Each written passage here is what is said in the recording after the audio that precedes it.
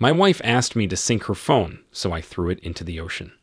Today, I'm going to recap a 2019 action history film called Torpedo. During World War II, a high profile conference is held in London, where the officials discuss an upcoming mission to transport a stolen German submarine containing uranium from Belgian Congo to New York for the Manhattan Project. At General Maes's request, the mission is assigned to a group of German resistance fighters led by Stan. Stan and his team currently reside at a camp in Flanders, where they often bring in German soldiers and kill them in revenge for Nazi crimes. Stan's daughter, Nadine, is also one of the group members, but she is never called in to participate in combat. This situation makes her upset with Stan, as she thinks he considers her less competitive, but her boyfriend, Filip, assures her that he just wants to protect her. While having a conversation, he shows her a special bullet, which she tries shooting, but gets shocked to see its disastrous effect.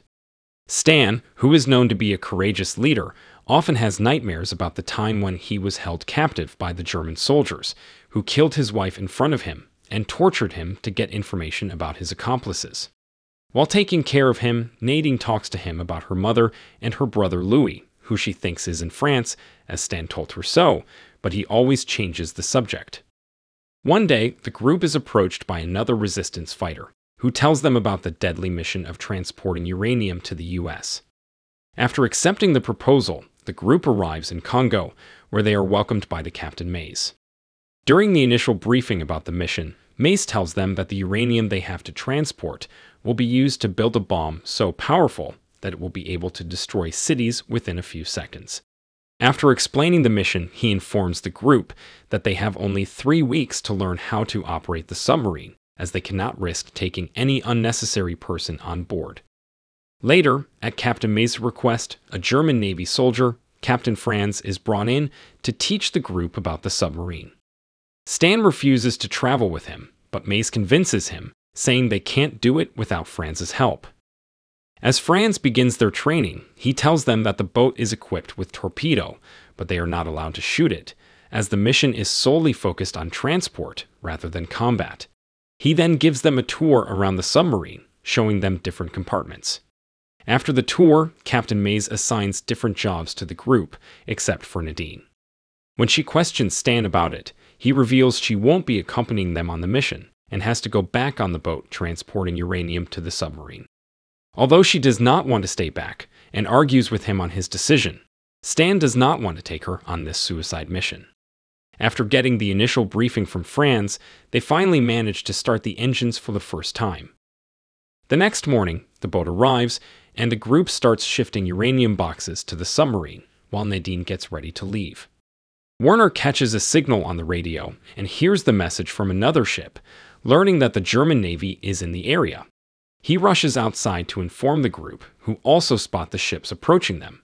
Sensing an upcoming attack, Maes asks the group to take the submarine into the deep waters, as they don't have time to train anymore. Although Maes initially told Franz that they will let him go after the training, they now can't risk slowing down. He forces Franz to come with him, but he starts fighting with Maes, knowing the mission is almost impossible to achieve. Meanwhile, Stan hears another message, realizing the ships are planning an attack. He rushes to the deck to ask the boat captain to leave immediately. Soon, they hear a gunshot and find that Franz has killed Captain Maes. Enraged, Stan intends to kill him in revenge, but Werner stops him by saying they still need his assistance because none of them know how to pilot. Stan leaves the compartment and comes across Nadine and tells her she will be staying on board as the boat has already left. Meanwhile, the group members start getting down, but learn that the African guy, Jenga, who came on the boat, is also left behind on the submarine. Franz does not want to take him with them, but is forced to accept his presence. They quickly turn on the engines, while Stan forces Captain Franz to help them out, who unwillingly complies with him. As Tamme and Klisse try to open the main belt, Jenga assists them in the job and becomes friends with them. After seeing the ship still far away from them, they dive the submarine into the sea, but the water starts dripping in.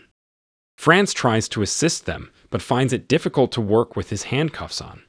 He requests Stan to get them off, but he declines, saying he does not trust him at all. A German plane also starts looking for the submarine, but can't get a sight of it as they have already submerged in water. While using the bathroom, Tommy presses the wrong valve and they get into trouble after the water starts coming in. Franz rushes to the bathroom and starts fighting with him, as the batteries are directly underneath and can be damaged if they don't control the water in time. His concerns prove to be true, and they are forced to come up to the surface to pump the water out of the submarine. The plane spots them, but leaves without an attack. As they wonder about it, Franz tells them he will be keeping an eye on them and will only attack when they will go down again because a diving submarine is an easy target. Werner thinks they should stay on the surface until the plane runs out of fuel, but Franz says it's impossible as the pilot might have called in for backup. At his suggestion, they start diving in again, but Stan stays on the deck and shoots down the plane just as it's about to attack. At night, Stan has another nightmare, remembering how the soldiers killed his toddler Louise by drowning him in water, and he could not do anything for him due to his chains. It makes him realize Franz's discomfort with his handcuffs, and he thinks about removing them, but changes his mind. After finding Filip absent from the site, Captain Franz goes in search of him to get him back to his work, but finds him sleeping with Nadine. As he talks to them, Stan comes over. Although Franz tries to distract him from them, he spots them and starts beating Filip up. When Nadine intervenes, he asks her to stay away from Filip until they get married. After listening to him, she decides to marry Filip on the spot and calls everyone to join. They all gather at the deck, where Franz starts the wedding ceremony, but Filip hesitates to proceed without Stan. Before he can decide anything, the ceremony is interrupted as Stan warns them about the ships and everyone is forced to rush back inside. Seeing Nadine upset with him, Filip tries to clarify his position and assures her that they will get married as soon as they dock in the US. While talking to him, she shares her plan to introduce him to his mother in France, but Filip starts crying as he knows about her mother and brother's death. Nadine is shocked to hear this, as Stan never told her about it, but Philip says he did it because he could not gather the courage to see her devastated. Meanwhile, Werner warns the group about an approaching torpedo fired by the Germans, but luckily, it misses the target and they survive. Franz orders them to turn off the engines and maintain complete silence on board so they won't be spotted by the ships above them. He also sends Van Praag and Klisse to prepare the torpedo for a counterattack on the ships. They get the torpedo ready, but Van Praag's legs get crushed by it during an accident. After getting him out with Jenga's help, they fire the torpedo, but the submarine gets hit by another torpedo, which slides across its surface. The torpedo fired by them successfully destroys the ship, but they also face a severe impact due to their closeness with the ship. Propulsion gets broken, but they manage to take things under control. As they celebrate, they are informed about Van Praag and rush to him. After seeing his severe injuries, Stan learns there is no other way but to amputate his legs to save his life. He asks Franz to do it, but he refuses, saying if he does, he won't ever be able to face Van again. Seeing them arguing and learning that they don't have any other choice, they get him drunk and Werner amputates his leg. As everyone sits by his side in sadness, Stan shares a drink with Captain Franz and gives him the keys to his handcuffs, but says he only did it so he can help them in running the engines. Seeing him upset about Van, Franz tries to comfort him, saying it was necessary to save his life. Stan tells him Van was a passionate football player, but now he won't ever be able to play again. Upon Stan's question about his passion, Franz tells him that he was always a soldier, but says he never got to choose sides, revealing he was not with Nazis at his own choice. The German ships arrive near the submarine. Their captain sends in a message asking them to identify themselves. On Stan's orders, Franz talks to him, introducing himself as a German Navy captain. He tells them they have got a technical problem on the submarine and are trying to get it resolved. In response, the captain offers to send a mechanic. Although Franz says they got it under control, but agrees to take his help as he insists. Stan starts fighting with him, but Franz clarifies it by telling him if he did not do it, they might have gotten suspicious about them. When the soldiers from the other ship arrive, Franz tells them that they hit a mine, but invites them over for a drink by saying the issue is resolved now.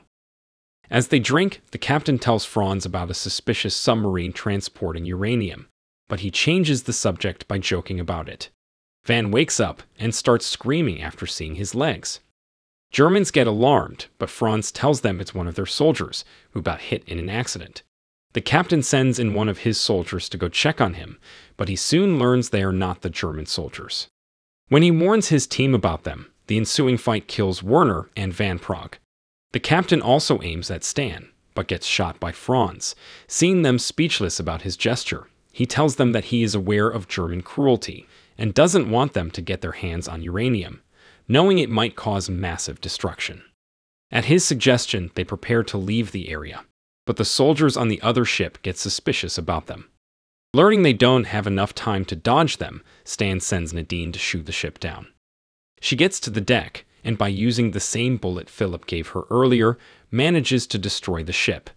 They also get in trouble as its wreckage hits the submarine and Stan gets injured. The water starts flooding in, so they close the doors in the lower compartments. Everyone rushes inside, but Tamme's hand gets stuck and they are forced to leave him to drown.